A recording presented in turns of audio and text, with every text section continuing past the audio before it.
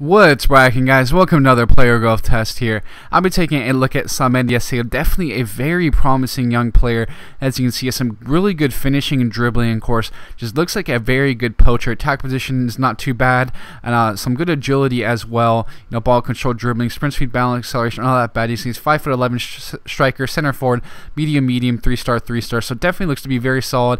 He is injury prone, unfortunately, which uh, does hurt him at some points in this player growth test actually with some of his physical stats. But uh, either way, definitely looks like a very promising player. So interesting to see how he grows over the years.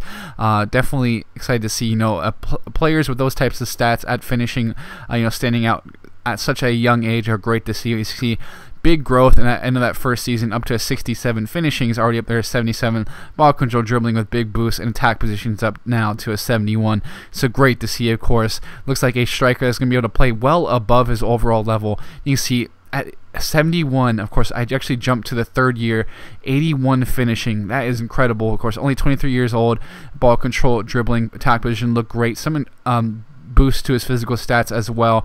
He did pick up an injury in the season, which hurt him, but uh, you'll see he does reach his SoFIFA potential of 75 here. But again, that finishing ball control, dribbling, attack position looks pretty solid. He improves in his shot power, volley, and penalties. And agility still looks very good and some good balance as well. Uh, so this looks like a very good poacher overall, but you will see he really does exceed his uh, overall level in great fashion. As you'll see, I'll be showcasing a few more seasons uh, coming up here.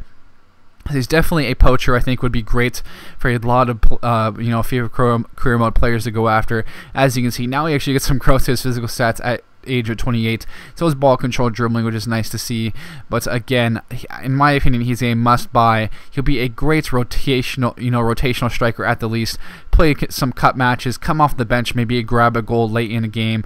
As you can see, that finishing stat, uh, he's just going to be so clinical for you with that. Plus some very good ball control dribbling, decent attack position uh, as well. Definitely think he was going to be a great buy for many players.